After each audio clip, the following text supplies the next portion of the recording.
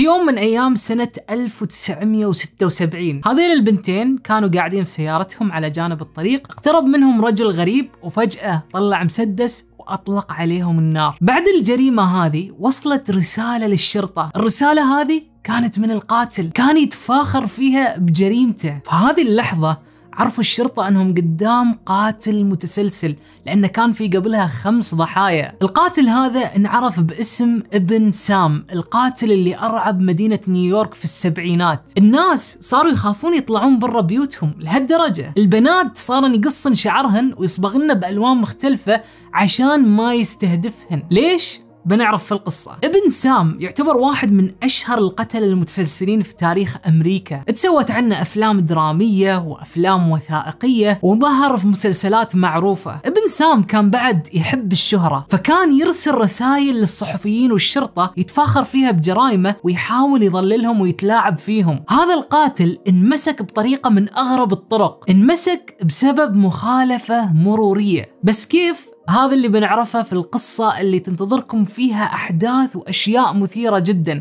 فحضروا أنفسكم واستمتعوا. السلام عليكم. معاكم بدر. قبل ما ندخل في القصة أول شيء حاب أبارك لنفسي وأبارك لكم إن وصلنا لأربعة مليون أخ وأخت في القناة. اللهم لك الحمد. بهذه المناسبة راح أسوي شيئين. الشيء الأول راح أسوي لكم قصة من العيار الثقيل. بعدني ما متأكد شو راح تكون بس أريدها تكون شيء متميز عن أي قصة ثانية. إن شاء الله هذه القصة بتجي بعدين عاد. يمكن تطول شوي بنطبخها على نار هادية. الشيء الثاني راح أسوي لكم فيديو اسألني. شيء ما سويته من سنين. تقدرون تسألوني عن أي شيء سؤال شخصي أو سؤال يخص القناة أو حتى سؤال فلسفي اللي تريدونه. بس الأسئلة ما راح تكون هني في اليوتيوب راح تكون على حسابي في الإنستغرام. راح يكون في post أو صورة المفروض تكون نازلة الحين. فاكتبوا أسئلتكم في التعليقات هناك وأوعدكم راح أقرأ كل الأسئلة وباخذ منها اللي يتكرر أكثر أو اللي يعجبني. تمام؟ خلونا ندخل في القصة. أحداث قصتنا تتكلم عن هذا القاتل المتسلسل اللي اسمه ديفيد بيركويتس واللي انعرف بلقب ابن سام. انولد بتاريخ 1 يونيو سنة 1953 في مدينة نيويورك. ديفيد كان نتاج علاقة غير شرعية. علاقة صارت ما بين أمه البيولوجية الحقيقية اللي كان اسمها بيتي ورجل أعمال متزوج اسمه جوزيف. الأب قال لبيتي الأم إنه ما راح يتبنى الولد وإنه ما يريد أي علاقة تربطه فيه. وقالها إذا تريدين تربينا ربيه بروحك. تخلى عنهم تماما. فالأم بيتي اللي كان يعني وضعها صعب خصوصا وضعها المادي والمعيشي عرفت إنها ما بتقدر تربيه فقدمتها للتبني. الزوجين الجدد اللي تبنوا ديفيد كانوا زوجين ما عندهم أولاد ما كانت عندهم القدرة على الإنجاب. فيعني كانوا العائلة المثالية عشان يستقبلون طفل صغير محتاج بيت. لكن لما صار عمر ديفيد سبع سنوات بالغلط زل لسان أبوه وذكر كلمة التبني. فمن ساعتها عرف ديفيد انه مش ابنهم الحقيقي وهالشيء على ما يبدو انه بدأ يسوي له مشاكل نفسية. وفوقها بعد عشان يزيد الطين بله فهذيك الفترة دعمته سيارة والحادث تسبب له بإصابة في الرأس. وللحين ما معروف إذا هالحادثة هذه لها دخل في تكوين شخصيته المريضة اللي بنشوفها بعدين ولا لا. المهم ديفيد من ذاك الوقت بدأ ينعزل أكثر وصارت عنده صعوبات إنه يسوي صداقات ويا زملائه في المدرسة ويختلط وياهم بشكل طبيعي. حتى لدرجة إن أبوه وأمه بدوا يودونه لأطباء نفسيين. أمه كانت حنونة عليه جدا وكانت تحبه. أما أبوه فكان على العكس بعيد إلى حد ما عنه وحتى كان يعتبر أن تبنيه غلطة. طبعا ما كان يقول هالشيء قدامه في وجهه بس أفعاله كانت تدل عليه لحد كبير. فيعني من طفولته الولد هذا بدت تتجمع عليه مشاكل نفسية كثيرة والأسوأ صار لما وصل عمره ل 14 سنة. وقتها أمه انصابت بمرض السرطان وظلت تعاني لغاية ما ماتت. فموتها أثر عليه وعلى نفسيته أكثر وأكثر. كانت الشخص الوحيد اللي يحبه. وفوق هذا بعدها فترة قصيرة أبوه تزوج مرأة ثانية. وهالشي خلاه يكره أبوه أكثر. هم أصلا مثل ما قلنا ما كانوا على وفاق. فلما تزوج ابوه صارت الأمور أسوأ وديفيد صار عصبي وعنيف أكثر. وعشان يفرغ العنف والعصبية هذه بدأ يلعب بالنار. كان يمسك الحشرات والحيوانات الضالة ويولع فيهم. وكان بعد يشعل الحرائق في حاويات الزبالة والأحياء المجاورة وحتى أحيانا في بيوت الجيران. وهذه بالمناسبة واحدة من العلامات المبكرة اللي تدل على تكون شخصية قاتل. لما صار عمر ديفيد 18 سنة قرر إنه ينضم للجيش عشان خلاص يبتعد عن البيت ويبتعد عن أبوه. وفي الجيش بدأ يتعلم كيف يستخدم الأسلحة وتعلم التصويب والرماية. بعدها بثلاث سنوات لما صار عمره 21 سنة قرر إن الجيش ما بمكانه المناسب. فقرر يطلع ورجع للحياة في مدينة نيويورك. بس هالمرة عاش بروحه. خلاص قطع علاقته ويا أبوه وتركه. كان في البداية طموحه إنه يصير رجل إطفاء بس لما ما تيسرت الظروف وما قدر اضطر إنه يقبل بوظيفة حارس أمن براتب متواضع جدا. معظم مناوباته كانت ليلية فكان دائما يقعد يفكر ويا نفسه. هو من أول أصلا كان يحس نفسه شخص غريب ووحيد يعرف إن الناس ما يتقبلونه. وهالشيء كان يأذيه من داخل. كان يشوف مثلا واحد يمر في الشارع ويا زوجته أو حبيبته ويشوف السعادة باينة عليهم. وتبدأ احقاده على الناس والعالم تزيد. ومن هني بدت أفكاره تاخذ منحنيات خطيرة. حاول ديفيد بعدها إنه يتواصل مع أمه الحقيقية بيتي أمه اللي عطته للتبني. كان بعدها يحاول يتمسك بشيء ممكن يرجعه إنسان طبيعي لأنه حس بنفسه وهو يغرق في الظلام وحس إنه بدأ يوصل لمستويات ما وصل لها قبل بحياته. فكان يحاول يتشبث بأي شيء ينقذه. فقدر إنه يوصل لأمه الحقيقية بيتي اللي كانت فرحانة لما التقوا. فقعدوا يسولفون ويتكلمون وبدت تتكون ما بينهم علاقة حلوة. وصارت في زيارات متكررة ما بينهم وبدأ ديفيد مرة ثانية يحس بحب وحنان الأم وهالمرة مع امه الحقيقية الأم اللي ولدته فكان وقتها فرحان وحاس بالسعادة. بس السعادة هذه ما راح تستمر. ديفيد اكتشف إن أمه عندها بنت أخته غير الشقيقة. وهني رجع يفكر. يعني أنا عطتني للتبني أما أختي هذه فربتها وكبرتها وحبتها. وهني بدت مشاعر الكره ترجع له مرة ثانية. حس إنه هو الطفل المهجور اللي حتى أمه ما تريده. فمرة ثانية قطع تواصله ويا أمه ورجع لعزلته وظلامه وأفكار الحاقدة. وكثيرين من المحللين النفسيين يقولون في ذاك الوقت بدأت تتكون عنده عقدة من النساء بسبب أمه. فهني رجع لحبه القديم النار. كانت واحدة من الأشياء اللي يحس أنها تفرغ غضبه والمشاعر السلبية اللي داخله. تخيلوا أنه على مدى السنوات الثلاث اللي بعدها ديفيد أشعل أكثر من 1500 حريق في مختلف المناطق في نيويورك. معظمها طبعا كانت حرائق صغيرة ما أدت لوفيات بس كان يسجلها كلها كان يكتبها في مذكراته. بعدها ديفيد بدأ يصير عنده انجذاب للطوائف الشيطانية عبدة الشيطان والناس المجانين هذيلا وبدأ يقرأ كتبهم ويتبنى أفكارهم. وطبعا الأفكار هذه سحبته للظلام أكثر وأكثر. تخيلوا أنه قضى كامل شهر نوفمبر سنة 1975 في شقته. عزل نفسه عن العالم لشهر كامل. حتى الدرايش أو الشبابيك حط عليها بطانيات وثبتها بمسامير. عشان اشعة الشمس ما تدخل ابدا. فعاش في ظلمة وعزلة تامة طول هذاك الشهر. وبدأ بعدها يشخبط ويرسم ويكتب كتابات غريبة على الجدران. كان يرسم رسوم شيطانية ويكتب عن الأصوات اللي يسمعها في راسه. وكان يقول إن هذه أصوات شيطانية قاعدة تأمره بالقتل. بتاريخ 24 ديسمبر سنة 1975 اللي كانت ليلة الكريسماس قرر ديفيد إنه يطلع وينفذ أول جريمة قتل في حياته. فأخذ سكين صيد كبيرة وخباها في معطفه وبدأ يتجول في الشوارع. فشاف بنت شابة بروحها ماشية في الشارع فراح صوبها ولما وصل عندها فجأة طلع السكين وبدأ يطعنها. طبعا البنت قامت تصرخ على طول وحاولت تهرب وهو بعد ما طعنها كم طعنة هرب وانتقل لشارع ثاني. وبعد ما مشى في كم زقاق وعدى كم بناء النهايه مرة ثانية طلع على واحد من الشوارع. وشاف له بنت ثانية ماشية في الشارع مثل البنت الأولى بس هالمرة البنت أصغر عمرها 15 سنة بس. فراح لها وطعنها بنفس الطريقة في نص الشارع. فالبنت قامت تصرخ وبدت تهرب ولجأت لوحدة من البيوت. وديفيد طبعا لما شافها فلتت منه هو هرب بعد من المكان. ومع إن البنتين انطعنن عدة طعنات لكن بلطف ربك ولا وحدة ماتت. انصابن اصابات بليغة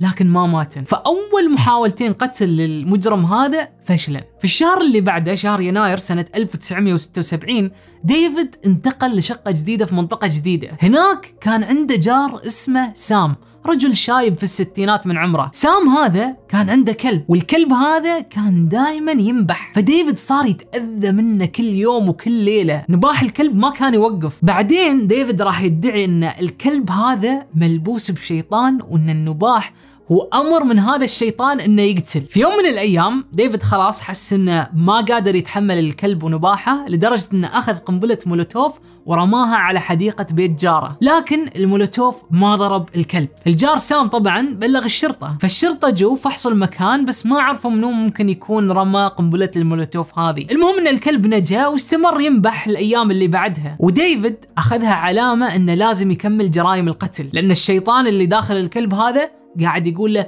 اقتل ولا ما بخليك في حالك. ديفيد قاعد يفكر بما أن السكين ما نفعت وياه في محاولات القتل الأولى قرر إنه هالمرة يستخدم مسدس. فجاب مسدس ريفولفر من عيار 44 وفي يوم الخميس بتاريخ 29 يوليو سنة 1976 قرر يرتكب أول جريمة له بالمسدس هذا. فطلع بسيارته وبدأ يتجول في الشوارع يدور على ضحيته. في ذاك الوقت كان في بنتين الأولى اسمها دونا عمرها 18 سنة والثانية اسمها جودي عمرها 19 سنة. البنتين هذيلا كانن قاعدات داخل سيارتهن اللي واقفة على جانب الشارع. كانن طالعات طلعة ليلية وبعدها جودي اللي كانت تسوق وصلت صاحبتها دونا عند شقتها. فوقفن السيارة جنب الشقة وقعدن يسولفن شوي قبل ما يودعن بعض. فجأة اقترب شخص غريب من دريشة السيارة وطلع مسدس وبدأ يطلق عليهن. ديفيد طلق عليهن خمس طلقات وبعدها هرب على طول. دونا اللي عمرها 18 سنة انصابت في الرقبة إصابة قاتلة وماتت. أما صديقتها جودي فبس انصابت في الفخذ ونجت من الموت. طبعا المحققين جو وفحصوا مسرح الجريمة ومن نوع الرصاصة اكتشفوا أن سلاح الجريمة كان مسدس ريفولفر من عيار 44 واللي كان يعتبر سلاح نادر. خلوا هالشيء في بالكم ديفيد يقول إنه لما ترك مسرح الجريمة قعد يغني في سيارته وهو راجع للبيت. كان مستانس حس بشعور تفوق لما انتزع حياة إنسان خصوصا إنسان سعيد في حياته. على عكسه هو حس إنه بإيده يقدر يتحكم بسعادة وتعاسة الناس كأنه في مستوى ثاني عنهم. الشرطة ما قدروا يحددون سبب الجريمة واعتبروها مجرد جريمة عصابات عشوائية. لأن في ذاك الوقت في السبعينات الجرائم كانت منتشرة بشكل مجنون في نيويورك. معدلات الجريمة فيها كانت تعتبر الأعلى في أمريكا كلها، فيعني جريمة قتل مثل هذه ما كانت الشيء اللي بيهز الراي العام ويسوي ضجة كبيرة، وهالشيء ضايق ديفيد لما فتح الجرايد في صباح اليوم اللي بعده وما شاف جريمته مكتوبة بالعناوين العريضة في أهم الأخبار، حس إن جريمته بدون قيمة، حس إن شغله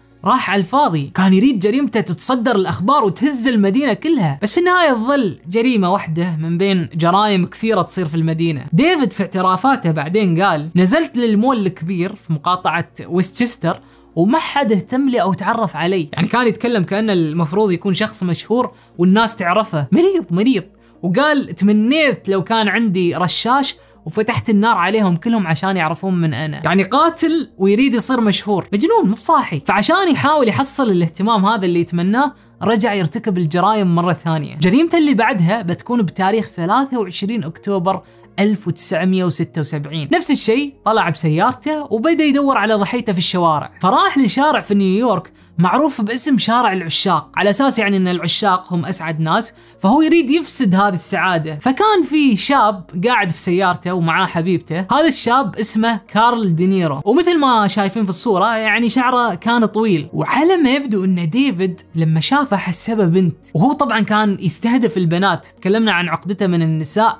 بسبب أمه. فراح ولحقهم بالسيارة وظل وراهم لين ما وقفوا على جانب الطريق. فوقف وراهم وبعدها نزل من سيارته ومشى بهدوء ومثل جريمته الأولى. وصل عند الدريشة وطلع مسدسة فجأة وبدأ يطلق عليهم. أول رصاصة كسرت الزجاج وواحدة من الرصاصات على ما يبدو أنها ضربت كارل في راسه حبيبته قدرت أنها تنزل من السيارة وما انصابت بأي أذى. ديفيد أطلق كم رصاصة على طول بعدها حط رجله وهرب. فحبيبة كارل هذه اللي قدرت تهرب رجعت للسيارة مرة ثانية. كارل طبعا كان قاعد ينزف وما كان قاعد يتحرك ما كانت عارفة هل هو ميت ولا مغمى عليه. بس على طول ساقت السيارة لأقرب مستشفى. وبقدرة ربك سبحان الله مع أنه انصاب برصاصة في الرأس لكنه نجا. بعد شهر من الحادثة بالتحديد بتاريخ 27 نوفمبر سنة 1976 ديفيد طلع مرة ثانية يدور على ضحية جديدة. فحصل بنتين قاعدات على درج بيت. البنتين هذيلا اسمائهن دونا وجوان. أعمارهن 16 و18 سنة. فرفع عليهن المسدس وفتح عليهن النار. بس مرة ثانية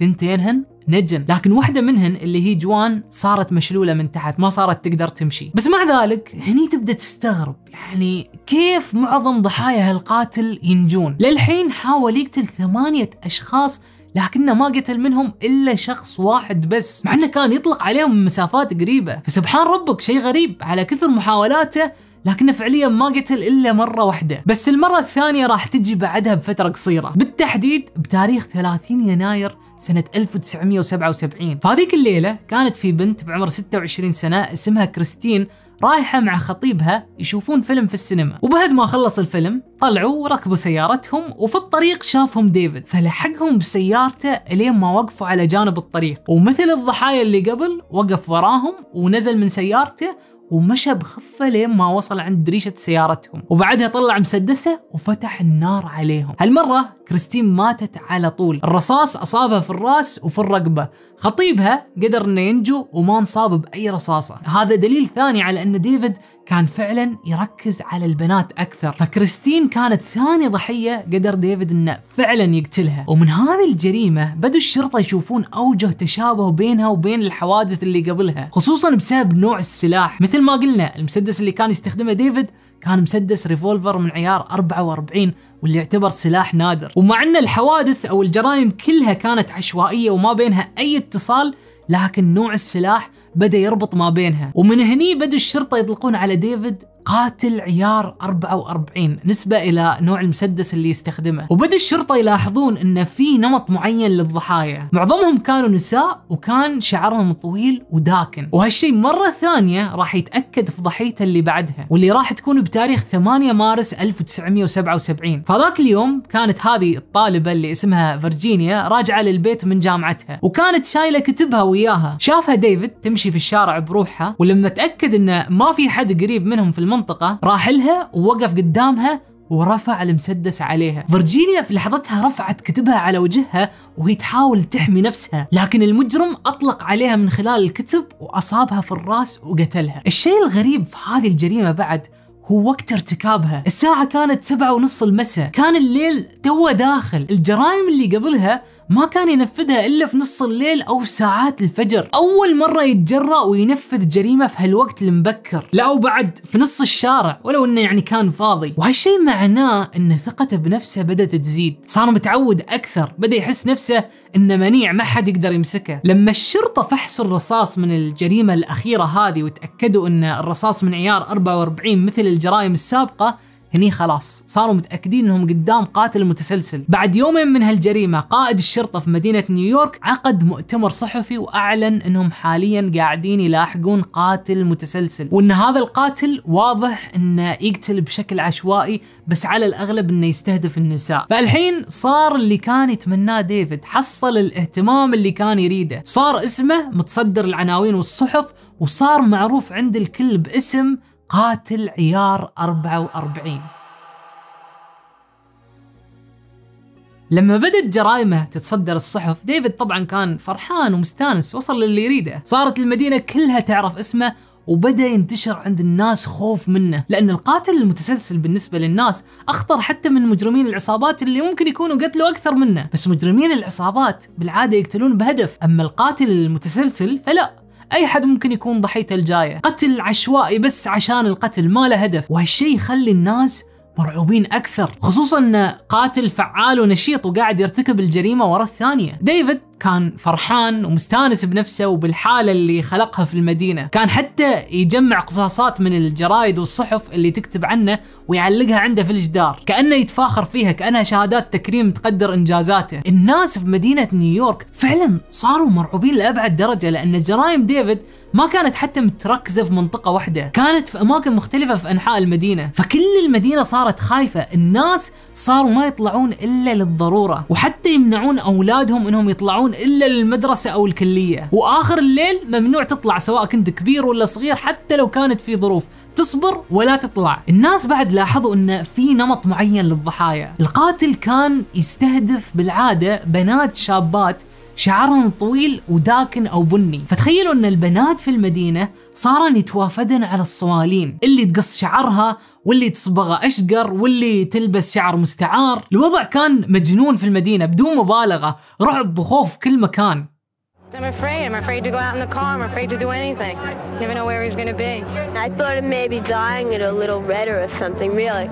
كل هالرعب مع إنه مثل ما قلنا هالقاتل ما قتل إلا ثلاثة أشخاص للحين. بس عشوائية جرائمه وتكرارها خلى الناس يدخلون في هالحالة. كل واحد كان خايف إنه يكون الضحية الجاية. هالشيء طبعا خلى شرطة نيويورك تاخذ قضيته على أعلى مستوى من الجدية. فكونوا فريق من أحسن الضباط والمحققين اللي عندهم سموه فريق اوميجا 30 ضابط مهمتهم بس مطاردة قاتل عيار 44 ديفيد راح يضرب ضربته اللي بعدها بتاريخ 17 أبريل 1977 الضحية هالمرة خطيبين اسمهم ألكساندر وفالنتينا. ألكساندر عمره 20 سنة وفالنتينا عمرها 18 سنة. ومثل الضحايا اللي قبلهم كانوا قاعدين في سيارتهم على جانب الطريق الساعة 3 الفجر. أنتوا الله يهديكم يعني شو مطلعنكم الساعة 3 الفجر وانتوا عارفين إن في قاتل يستهدف بهالطريقة. مشى ديفيد للسيارة حط إيده على الغطا وطلع مسدسه وأطلق النار عليهم هالمرة من الزجاج الأمامي، النتيجة كانت إن الضحيتين ماتوا. ارتفاع نسبة موت الضحايا عن المحاولات الأولى تدل على إن ديفيد صار أهدى وواثق من نفسه أكثر وهو يرتكب الجريمة، صار ياخذ راحته ويصوب زين وما يتوتر وهالشيء يخوف أكثر. هالمرة بعد تجرأ ديفيد أكثر وترك رسالة للشرطة في مسرح الجريمة. رسالة حصلوها جنب السيارة. في هالرساله كتب أنا وحش. أنا ابن سام. أنا غريب عنكم. أنا مبرمج على موجة مختلفة عن الجميع. مبرمج على القتل. لكن عشان توقفوني لازم تقتلوني. أنا وحش مفترس. أحب الصيد. أجوب الشوارع وأدور على ضحيتي. أحب اللحم الشهي. نساء نيويورك هم الأجمل. الرسالة هذه وقعها ديفيد باسم ابن سام. هذا الاسم اللي كان يستخدمه لنفسه. وبسرعة اسمه تغير حتى في الصحف والجرايد من قاتل عيار 44 إلى ابن سام. وهذا الاسم اللي صار مشهور فيه. طبعا وقتها ما حد كان يعرف معنى الاسم هذا أو شو أصله. بس بعدين بيعرفون أن ديفيد أخذه من جاره الشايب صاحب الكلب. واللي مثل ما قلنا كان اسمه سام. فديفيد سمى نفسه ابن سام على جاره هذا. لأنه كان مؤمن أن كلب جاره متلبسنه شيطان. وأن نبات النباح المستمر هو أمر من الشيطان إنه يقتل. فبطريقة ما ربط الموضوع بجارة وسمى نفسه ابن سام. ديفيد كان يعاني من الكلب ونباحه للحين وكان يعتبر نفسه عايش في عذاب وكان حتى يرسل رسائل تهديد لجاره بسبب الكلب. بس طبعا الرسائل هذه كانت توصل للجار باسم مجهول ما كان يرسلها باسمه. ومثل ما قلنا قبل في مرة من المرات حاول يقتل الكلب قنبلة مولوتوف رماها على حديقة جاره. ورجع مرة ثانية وحاول يقتل الكلب بتاريخ 27 أبريل 1977 هالمرة المحاولة كانت ببندقية. صوب على الكلب من دريشة الغرفة وأطلق عليه. لكن الكلب ما انصاب إلا بخدش جرح خفيف. طبعا الجار الشايب سام بلغ الشرطة وجو حققوا في الموضوع مرة ثانية بس نفس الشيء ما قدروا يعرفون من وين جات الطلقة. بعدها بشهر تقريبا ديفيد كتب رسالة جديدة بس هالمرة لصحفي اسمه جيمي بريزلين واللي كان من أشهر الصحفيين في نيويورك كلها. فإذا ديفيد يريد قصته تنكتب وتنشهر فجيمي كان الصحفي الأنسب لهالمهمة فديفيد كتب للصحفي جيمي رسالة طويلة تكلم فيها عن كل جرائمه وذكر بالذات دونا ضحيته الأولى وكان كاتب ان الحين مرت سنة على جريمتها. وكتب إنها كانت بنت لطيفة وإنهم لازم يسووا لها ذكرى. طبعا هالشيء استفز أهلها وعائلتها لأبعد درجة. أنت اللي قتلتها. كيف تتكلم بهالطريقة؟ كأنك واحد متعاطف. في الرساله هذه كتب ديفيد بعد إنه يشد على يدين الشرطة ويشجعهم في جهودهم عشان يقبضون عليه ويتمنى لهم الحظ والتوفيق. وكتب إنهم لما يمسكونه راح يشتري لكل واحد منهم حذاء جديد إذا كانت عنده الفلوس. رساله غريبة تدل على إنه واحد ما مستقر عقليا ابدا. طبعا الرسالة هذه صنعت زخم أكثر حول القضية والناس صاروا مرعوبين أكثر بسببها. بعد ما انتشرت الرسالة هذه في الصحف الشرطة صاروا يوميا يتلقون أكثر من 250 اتصال من ناس قاعدين يبلغون عن أشخاص يشكون فيهم مثل جيرانهم أو حبايبهم أو حتى أزواجهم أحيانا. كانت فيه هستيريا في المدينة. الشرطة والمحققين طبعا كانوا شغالين بكل جهدهم. كل شرطة نيويورك كانت شغالة على القضية. هذه القضية اللي بالمناسبة تعتبر أكبر مطاردة للشخص نفذتها شرطة نيويورك في تاريخها كله. كانوا بعد راسمين سكتشات لابن سام من خلال وصف الضحايا اللي نجوا منه. لكن السكتشات هذه كانت بعيدة عن الدقة. معظم الضحايا ما كانت عندهم فرصة يشوفون وجهها بشكل واضح. واحدة من محاولات الشرطة هي إنهم حاولوا يحطون دمية في سيارة ووقفوا السيارة على جانب الطريق. يعني كانوا يريدون يستخدمونها كطعم ويستدرجون ابن سام. لكن المحاولات هذه كلها فشلت. التحدي الأكبر قدامهم كان إنهم محتاجين يمسكونه بأسرع وقت ممكن. لأنهم عارفين إنه راح يقتل مرة ثانية. فكان في ضغط كبير على الشرطة والمحققين. وفعلا مثل ما كانوا متوقعين بتاريخ 26 يونيو 1977 ابن سام ضرب ضربته الجديدة. مثل العادة ضحاياه كانوا حبيبين اسمهم جودي وسال. نفس الشيء كانوا قاعدين في سيارتهم على جانب الطريق فباغتهم وهجم عليهم فجأة وفتح عليهم النار. لكن هالمرة اثنينهم نجوا. مع أن جودي انصابت بثلاث رصاصات وسال انصاب برصاصة لكنهم نجوا. بعدها بشهر ضرب ضربة جديدة بتاريخ 31 يوليو 1977 نفس الشيء الضحايا كانوا حبيبين. البنت اسمها ستيسي والولد اسمه روبرت واثنينهم عمرهم 20 سنة. الهجوم هالمرة أثار رعب مدينة نيويورك أكثر حتى من الهجمات اللي قبله. السبب لأن ستيسي كان شعرها أشقر. هذه الطلعة كانت أول مرة ستيسي وروبرت يطلعون فيها مع بعض. واثنينهم آبائهم وأمهاتهم كانوا خايفين عليهم من ابن سام يقولوا لهم كيف أنتم تطلعون وفي قاتل متسلسل قاعد يقتل الأزواج؟ فهم الاثنين كان جوابهم على ابائهم وأمهاتهم انه لا تخافوا هذا القاتل ما يستهدف البنات اللي شعرهن أشقر. لكن هالمرة كانت غير. لأول مرة ديفيد استهدف بنت شعرها أشقر. من ناحية الطريقة فهي نفس الطريقة. مشى لسيارتهم باغتهم وفتح عليهم النار. النتيجة كانت أن ستيسي ماتت. أما حبيبها روبرت فنجى بحياته لكنه انصاب في عيونه وصار أعمى. الجريمة هذه بالذات أدت لحالة رعب هستيرية في كل المدينة. جريدة نيويورك بوست كانت كاتبة بالعنوان العريض في الصفحة الأولى لا أحد آمن من ابن سام. يعني هم بعد الصحافة ما شاء الله عليهم ما ما يقصرون. فحتى الناس اللي كانوا يعني ها حاسين بشوية أمان خلاص تحطم هالشيء عندهم. كل شخص في مدينة نيويورك كان خايف أي حد ممكن يكون الضحية الجاية عجيب كيف شخص واحد ممكن يرعب مدينة كاملة خلونا نسمع من واحد من الصحفيين اللي عاشوا هالأحداث وقتها People genuinely were afraid to go out. You cannot overestimate or exaggerate just how much that fear gripped the city. سمعت شو قال؟ قال ما تقدر تبالغ في وصفك لأي درجة كان الخوف مستحوذ على المدينة. يعني يمكن بعضكم يقولون لا أكيد ما كانوا مرعوبين لهالدرجة. في النهاية يعني يظل شخص واحد. لكن لا الناس كانوا جد في قمة الرعب. كل المدينة كانت مرعوبة عيشهم كوابيس. حتى لو كانوا ضحايا ينعدون على الأصابع القاتل المتسلسل العشوائي هذا من أخطر أنواع القتلة اللي الناس ينرعبون منهم. طبعا ديفيد كان مكيف ومستانس كان في قمة سعادته على السمعة اللي وصل لها. كل أمنياته بالشهرة قاعدة تتحقق فكان يستمتع بكل جريمة يسويها أكثر من اللي قبلها. الشرطة على الطرف الثاني كثفوا جهودهم لأقصى درجة ممكنة. كان في 75 محقق يشتغلون على القضية ومعاهم 225 رجل شرطة. بالمجمل 300 ضابط يلاحقون شخص واحد كل تركيزهم بس عليه. فالمحققين كانوا قاعدين يبحثون في الجريمة الأخيرة جريمة ستيسي البنت الشقرة. فبعد عدة أيام من التحقيقات والبحث حصلوا شاهد مهم. امرأة عمرها 49 سنة اسمها سيسيليا. في ليلة الجريمة سيسيليا كانت قاعدة تمشي في شارع قريب من المكان اللي صارت فيه الجريمة. وقبل دقائق بس من الجريمة شافت شخص مريب.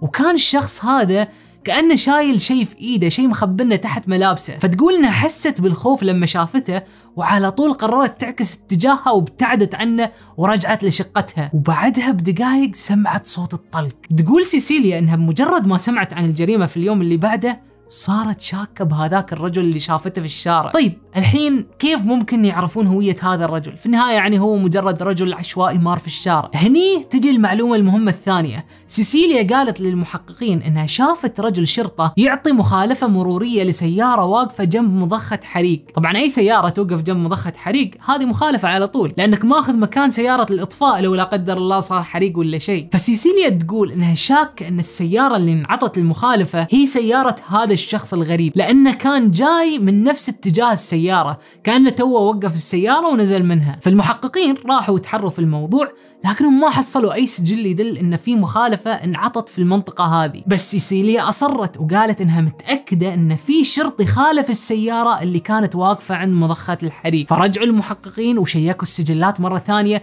ونفس الشيء ما في أي مخالفات. لكن سيسيليا ظلت مصرة بقوة وظلت تتأكد عليهم. فواحد من المحققين راح بنفسه للقسم هذاك ودور على شرطي الدورية اللي كان مسؤول عن المنطقة في هذيك الليلة. وأخيرا حصله. فالشرطي قال له فعلا كانت في مخالفات بس هذيك الليلة نسيتها في الخزنة مالتي. فما سجلتها في نفس الليلة حطيتها في سجل اليوم اللي بعده. فهني فهموا المحققين السالفة وفعلا حصلوا إن كانت في أربع مخالفات تحررت في هذيك الليلة. واحدة من هذه المخالفات كانت باسم ديفيد بيركويتس. فتخيلوا يعني سبحان الله لو هذه المرأة ما أصرت على موضوع المخالفة وإنها شافتها لو قالت للمحققين خلاص تمام ما حصلتوها معناه إني ما شفت زين أو إني توهمت. يلا مع السلامة. لو صار هالشيء يمكن ما كانوا مسكوه. That third attempt pick up that summons. If we didn't make three efforts, we would have not got Berkowitz then. فاخيرا المحققين حطوا عيونهم على ديفيد طبعا بحثوا عنه وعرفوا إنه ساكن في منطقة اسمها يونكرز فاتصلوا بقسم الشرطة المحلي اللي موجود في المنطقة هذه عشان يسألونهم عنه إذا يعرفون شيء فاللي جاوبت عليهم كانت شرطية لكن ما كانت أي شرطية كانت بنت سام بنت الجار الشايب صاحب الكلب اللي ديفيد أخذ اسمه وعلى أساسه سمى نفسه ابن سام. فالحين المحققين قاعدين يكلمون بنت سام عشان يسألونها عن ابن سام الابن المزيف طبعا. يعني حالة غريبة. فالبنت قالت لهم إن هذا شخص مريب ودائما عنده مشاكل ويا الجيران. الجيران حتى شاكين فيه إنه يولع حرايق. وحتى أبوها اللي هو سام شاك فيه إنه حاول يطلق النار على كلبه. هني المحققين لما سمعوا منها هالكلام عرفوا إن على الأغلب ديفيد هذا هو المطلوب. فراحوا عند شقته وبدوا يشوفون حوالينها. وحصلوا سيارته واقفة قدام المبنى. فعرفوا إن على الأغلب موجود في شقته فوق. فراحوا عند السيارة وبدوا يشوفون من الزجاج. ولاحظوا بندقية آلية شبه مغطاية في المقعد الخلفي. ففتحوا باب السيارة بالقوة ودخلوا يفتشونها. وحصلوا داخلها رسالة بنفس خط ابن سام. رسالة كانت موجهة للشرطة. باختصار مكتوب فيها ما بتقدرون توقفوني راح أجننكم. شوف المفارقة قاعدين يقرون رسالة قبل حتى ما يقدر يرسل لهم إياها. فخلاص هني الشرطة صاروا متأكدين إن ديفيد هو ابن سام. فسكروا السيارة وظلوا محاوطينها وهم متخبين طبعا وظلوا ينتظرونه ينزل. انتظروا تقريبا مدة أربع ساعات. وأخيرا نزل ديفيد من شقته وركب سيارته. وقبل ما يلحق يشغلها على طول كل المحققين والشرطة اللي كانوا موجودين ركضوا عليه عشان يحاصرونه. قائد فريق الشرطة كان يركض عليه وهو مصوب مسدسه ويصرخ في وجهه الشرطة إياك تقرب من مسدسك. فيقول القائد إن ديفيد لف راسه ببطء صوبه وهو يبتسم وقال له أخيرا مسكتوني شو اللي أخركم؟ كان هادي واثق من نفسه كأنه عارف إنه راح ينمسك عاجلا أو اجلا كان مستعد. بعد ما اعتقلوه طبعا ركبوه في السيارة عشان ياخذونه لقسم الشرطة الرئيسي في مدينة نيويورك. الصحفيين already كان عندهم خبر وكانوا جاهزين بكاميراتهم وينتظرونه. فوهم في السيارة في الطريق. ديفيد كلم الشرطة وبعدها ابتسم وقال لهم يا شباب الصحفيين راح يكونون منتظريني لما أوصل.